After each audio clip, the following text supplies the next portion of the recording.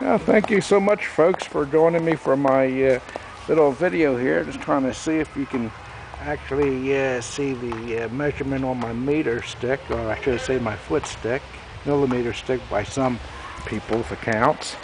Uh, we have some four, four and a half, five inches of snow on the ground with several inches here on the sidewalk as we are walking.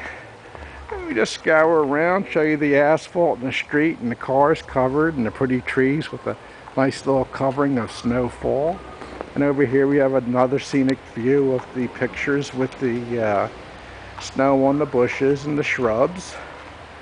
And as you can see, they are weighed down by the uh, heavy wet snow that fell here in uh, Euclid.